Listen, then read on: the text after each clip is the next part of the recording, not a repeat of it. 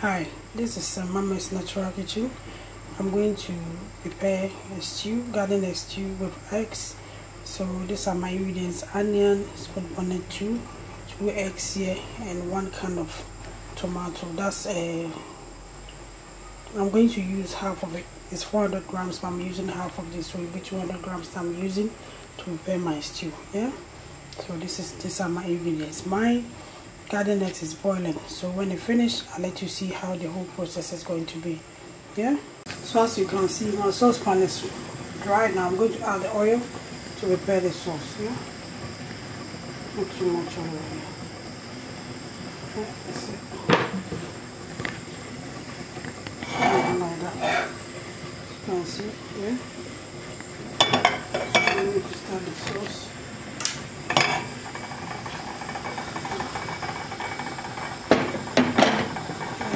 dice the onion here as you see. I've diced the onions. We're going to put the onion in the oil and start frying the whole thing. Okay?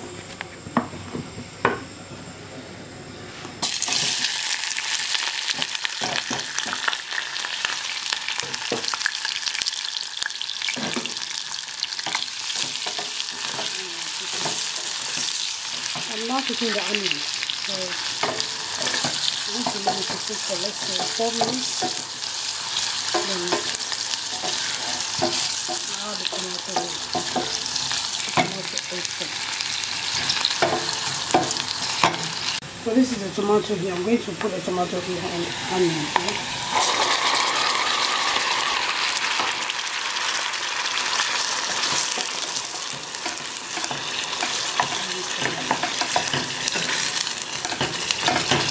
Noise, you know. My kitchen floor is not proper, proper, low. So whenever I'm cooking, using my cooker, I just keep on moving. about the noise. So I'm going to let this tomato cook for let's say five minutes and the rest of. Okay? So this is my vegetable for the stew, garden eggs and pepper. So I'm going to grind everything here in my abattoir. Then add it to my stew, yeah? So that's garden eggs. Cook it and I'm going to grind the. Let me hmm, put it here as I'm saying. My, my floor is not always shaking. So yeah, I'm going to blend everything here with my original Ghana blender, Ghana number one blender, as you can see there. I'm going to blend the whole thing, then add it to my stew. Okay, as you can see, I'm still grinding my garden eggs and pepper here, yeah? I'm going to put it in my stew.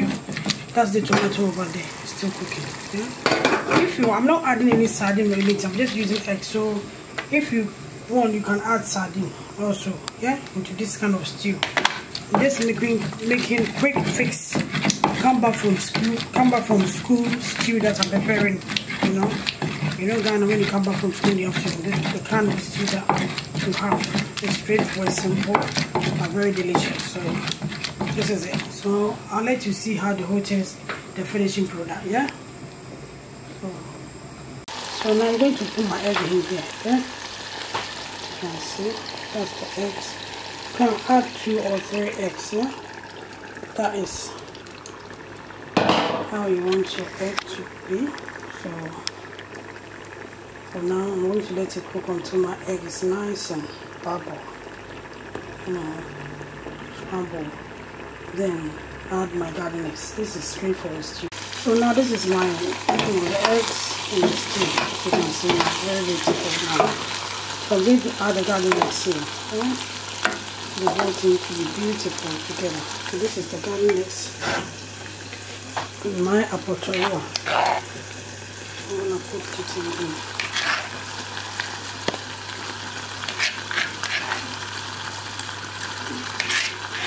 If you're not someone that like pepper, you don't have to add too much. You can just add one. Stop when it can be very hot. So one is fine. And just hold it in.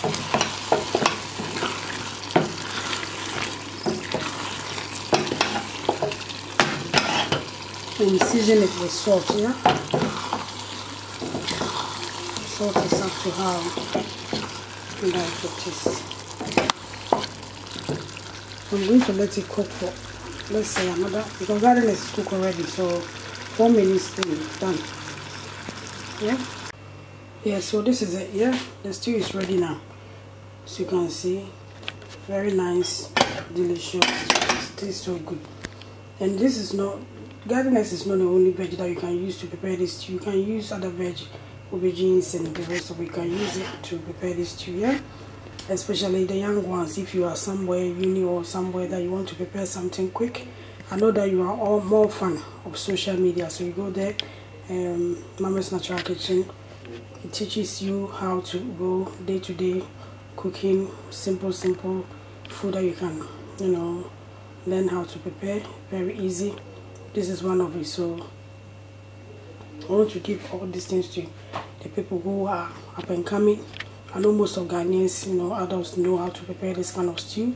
If you are from other parts of the world that you want to, you are interested in Ghanaian food, you are also welcome to watch my channel. And then this is how prepare this simple stew this afternoon. So, thanks for watching my channel and please subscribe and share with your friends and family too, yeah? So, this is Mama's Natural Kitchen. Thanks for watching. Thank you.